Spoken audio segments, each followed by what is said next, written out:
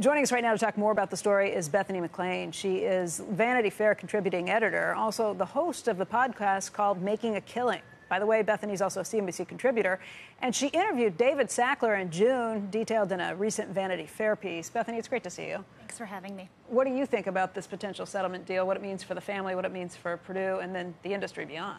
I think it's a brilliant move um, because if Purdue can be the first ones to settle and the Sacklers can completely cut any ties they have to the opioid business, which they would not only by paying the $3 billion, but also by selling Mundipharma and contributing another 1.5 billion from the sale of that overseas entity, which is not part of Purdue.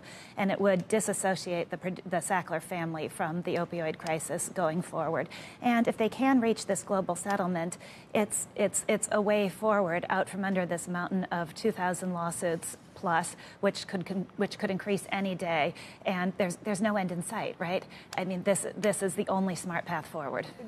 It just seems like when you talk about these 2,000 potential jurisdictions going after it, it would be great if you could really do that, but it, it, still seems like we're a long way from reaching that that that end. From people I've spoken to, this is not a, a, done deal. It's a framework for a deal, and many of the details remain to be hashed out. Many really important details remain to be hashed out. So it's a framework. That's it. You, when you spoke with David Sackler, what was your takeaway? What do you think about the far, the family's situation? Obviously, the family itself is splintered in some of these things. I think the family itself is very splintered, and I suspect there is some opposition within the family to this deal.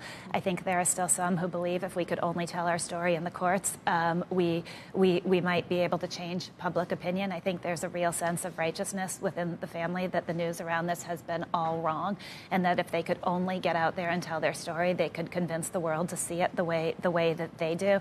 But there's that belief versus the realities of the legal system, right?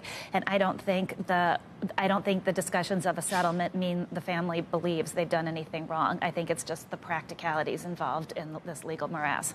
You mentioned Mundi. Uh, we, we, talked about it in the last hour, but that again is the pharmaceutical or the collection of pharmaceutical companies overseas that were selling these same drugs, right? Right, right. Um, and so I think this is part of the way that if they sell that entity too, it gets the Sacklers completely out of the opioid business and cuts all the ties. The LA Times had a fantastic series of investigative work into uh, Mundipharma and, and, pointed out that it seemed like it was pursuing sort of the same strategy uh, overseas that we'd already seen in the U.S. with these drugs. And so you kind of wonder if that's part two of the opioid crisis going global. Yeah, I was going to say global. A global settlement doesn't mean global. No, it, it means all the stuff here in the United States. It means globally in the U.S. with all the different parties here, of which there are many. Uh, and you also have to wonder about the Department of Justice here, because uh, they're not implicated in this settlement, as far as I know. No, this is purely a civil settlement. A crim- any criminal charges would be would be separate from this.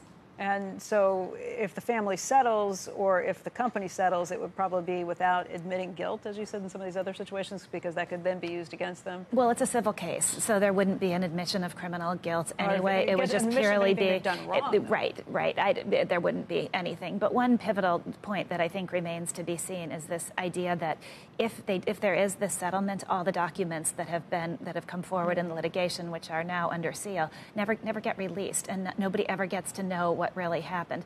And I think from, from what I know, it is a point in the settlement discussions whether there would be some giant document repository that everybody would then be able to go through and say, all right, let's, let's excavate this. Let's see who knew what when at which companies. And I think that that idea of transparency is so critical to the resolution of this. So. It does nothing if all the, I mean, it does something, but it doesn't, if all the documents get buried, it, it and you can't I, find the I, truth. Yes. So if the Sacklers think they need to tell their story and they'll come out looking good, why wouldn't they allow those documents to be not under seal. You would you would think that that would be the right answer, right?